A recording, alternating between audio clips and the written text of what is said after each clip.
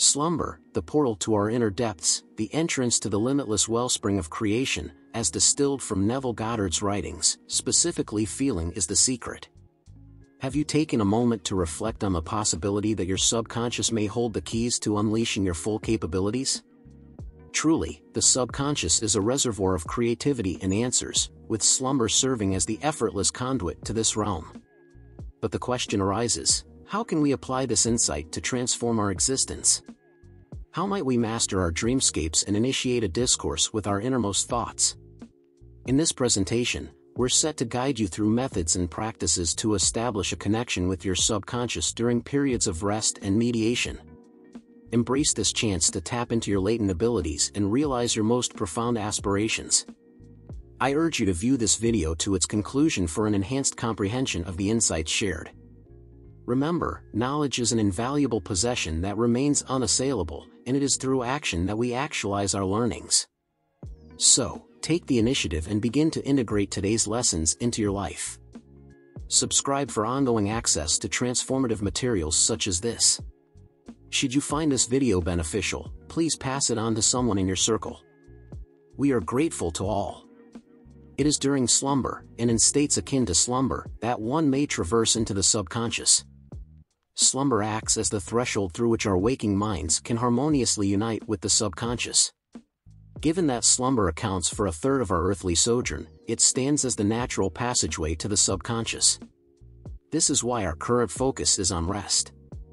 The extent to which we engage with our dreams reflects upon the two-thirds of our conscious life.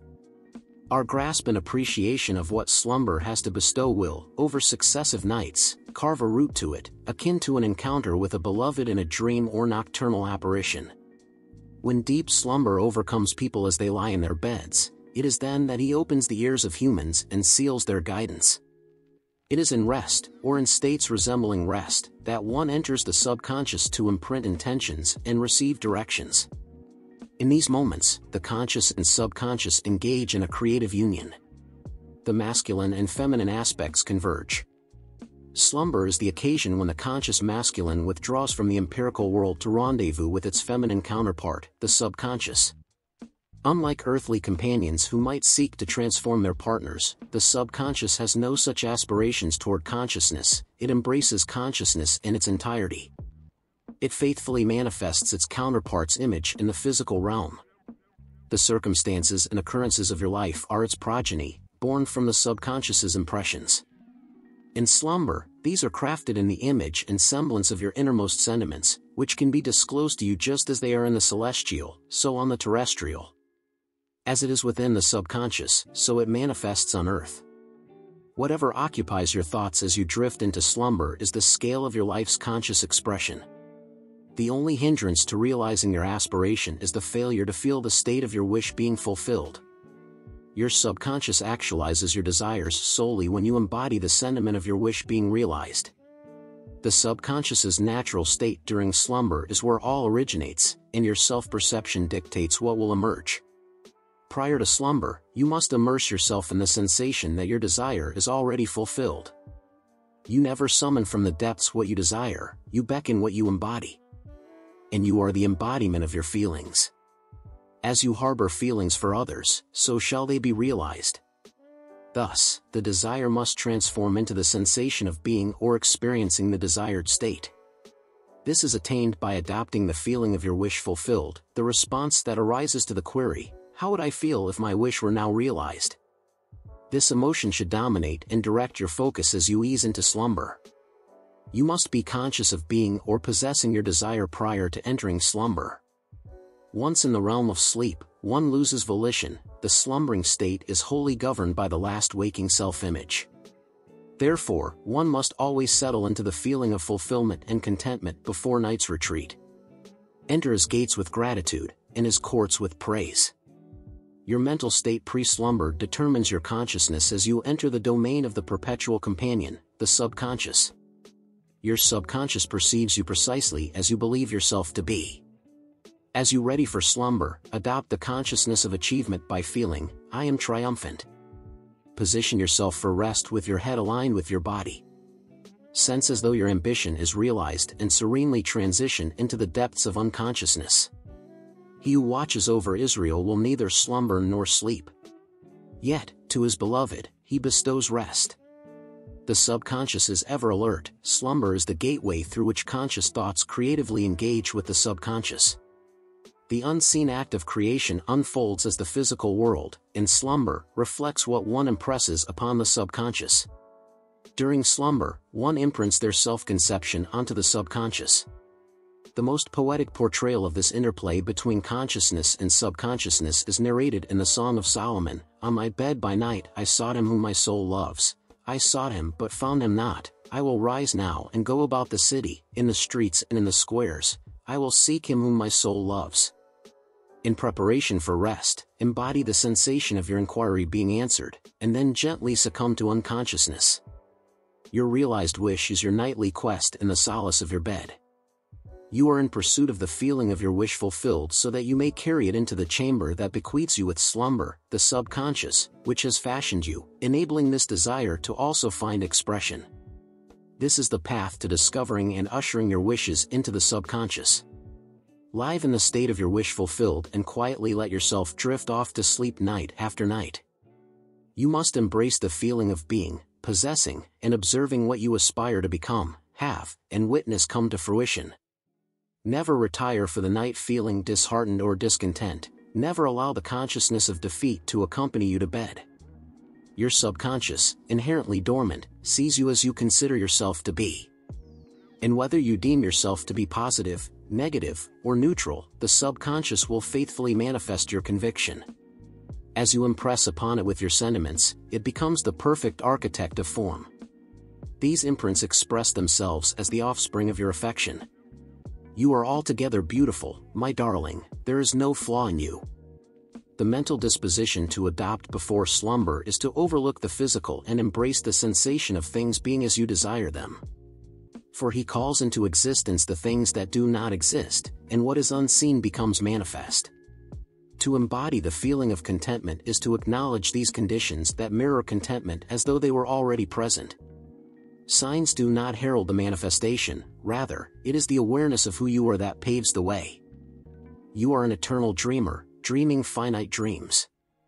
Your dreams materialize when you assume the sensation of their reality. Limit not yourself by the past, acknowledging that consciousness knows no bounds. Dare to envision states surpassing previous experiences. Whatever the human mind can conceptualize, it can realize all tangible states initially existed as intangible ones, and you brought them to visibility by assuming the sensation of their reality.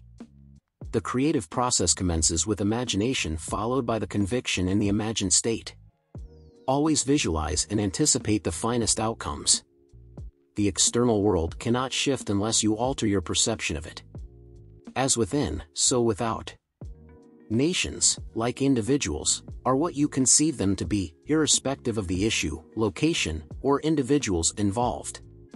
The only change required is within yourself, and you encounter neither adversary nor ally in effecting this change.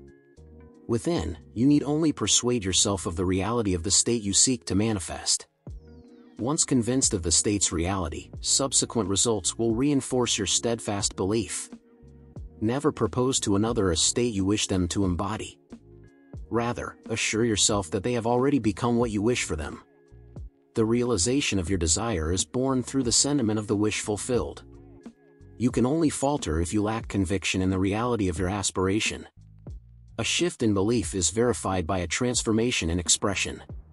Each night as you drift to sleep, feel fulfilled and blameless, for your subjective partner perpetually molds the objective world in alignment with your conception, as dictated by your emotions. The two-thirds of your conscious life on Earth consistently corroborate or testify to your subconscious imprints. The day's activities and occurrences are outcomes, not origins. Free will is confined to the day's choices. Whom you serve is your prerogative, selecting the mood you embody. Yet, the manifestation of that mood is the secret held by the subconscious. The subconscious assimilates impressions solely through one's emotions and, in a manner unique to itself, gives form and existence to these impressions. One's actions are steered by subconscious imprints. The illusion of autonomous will, the belief in the liberty of action, is merely unawareness of the factors that prompt action. one senses freedom because they have lost sight of the connection between themselves and their deeds. The awakened individual is compelled to express the imprints of the subconscious. Should there have been imprudent impressions in the past, let them now reorient their thoughts and feelings. For only in action does one reshape their universe. Let not the opportunity for transformation slip by, to dwell emotionally on past mistakes is to resurrect the expired. Leave behind appearances and adopt the feeling of possession. If you already embodied what you desire, feeling a state brings it into being. The part you enact on the global stage is dictated by your self-image. Ensconce yourself in the feeling of your wish realized and gently transition to sleep, casting yourself in a pivotal role to enact on earth tomorrow. As you rest, you rehearse and receive guidance for your role. Accepting the end inherently equips you with the means for its attainment. Do not delude yourself in this regard. Indeed, as you consciously ready for slumber, should you not embody the sentiment of the wish fulfilled, you will carry to your rest the accumulation of the day's conscious reactions and emotions. As you slumber, you will be schooled on their expression come morrow. You will awaken under the impression of being a free agent, oblivious to the fact that the day's actions and events are predestined by your self-concept. In slumber, your solitary liberty is your response. You are at liberty to select your emotional response to the day's drama, but the narrative, actions, events, and circumstances have been prearranged, unless you consciously choose and intend otherwise. The emotional stance you adopt as you fall asleep will unconsciously become the aggregate of the day's emotions and responses. Each response engraves a subconscious impression, and unless negated by a more potent and contrasting emotion, it becomes the catalyst for future actions. Emotions entwined with beliefs are the building blocks of action. Exercise your divine privilege with wisdom. Your capacity to think and feel bestows upon you dominion over all of creation. In wakefulness, you are a cultivator selecting seeds for your garden. Yet, unless a seed is buried and decomposes, it remains solitary. But in its decay, it yields abundant life. Your self-conception as you yield to slumber is the seed sown into the subconscious soil retire to rest feeling content and joyous, and the circumstances and occurrences in your life will affirm these mental stances. The dream is the corridor to the divine. What you internalize as sensation, you project as condition, action, or entity within the world, slumber in the conviction of the wish fulfilled, as a conscious being on earth. I trust you have gleaned substantial knowledge about tapping into your subconscious through rest and contemplation. Now is the moment to employ all that you've absorbed and commence enjoying the fruits of a profound rapport with your inner psyche. Delay no further, embark on your journey of transformation today and awaken to your untapped potential. Don't overlook subscribing to our channel for further insights into personal growth and spirituality. Warm regards, and looking forward to our next video.